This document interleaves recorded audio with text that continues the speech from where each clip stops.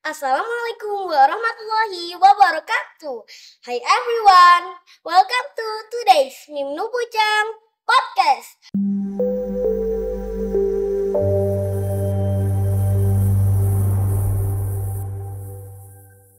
I'm super excited to have two awesome guests with me today. Let's give a big hello to Elang and Rashad.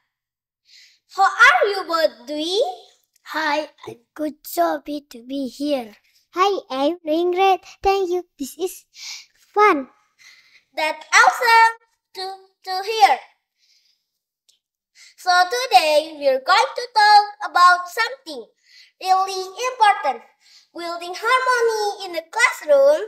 Can either of you tell me what harmony means? I think harmony means when everyone gets along and work together nicely, right?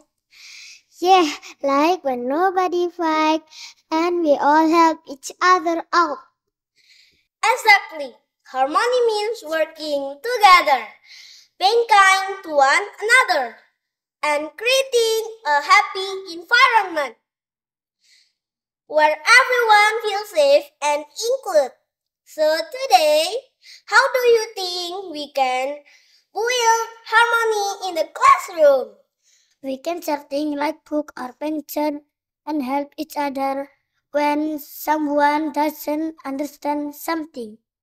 And we can listen to each other. If someone has an idea or a problem, we should let them speak and not interrupt.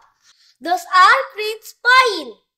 Sharing and listening are super important. What about when someone feeling left out or maybe a little sad?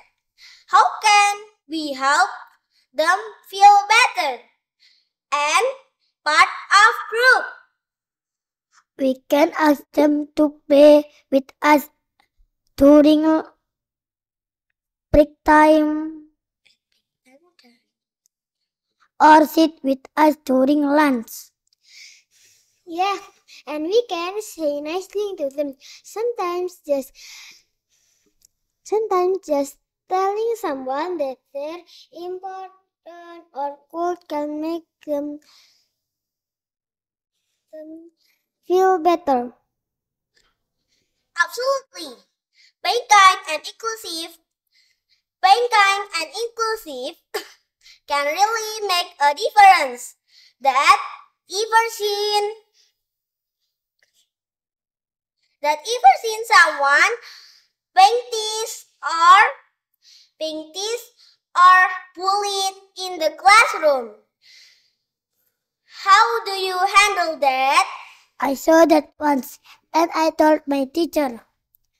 I think it's important to speak up because it's not okay to bully anyone.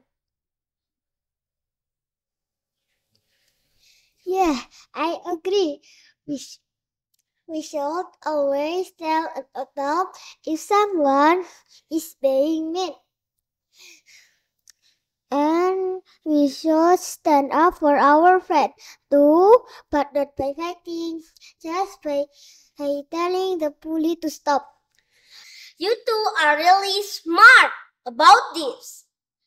It's so important to make sure that everyone feels safe and happy at school. If we all work together, we can build a classroom. If where everyone feel welcome, don't you think? Yes. Before we wrap up, what one thing you would like to do tomorrow to help to help build harmony in your class? I'm going to ask someone new to play with me at break time. I am going to help my friend friend who's been struggling with math. Those are wonderful ideas. You you will you will make your class even bet an even better place. much for joining me today, Along and Rashad. And everyone listening, remember, harmony start with small acts of kindness. See you next time.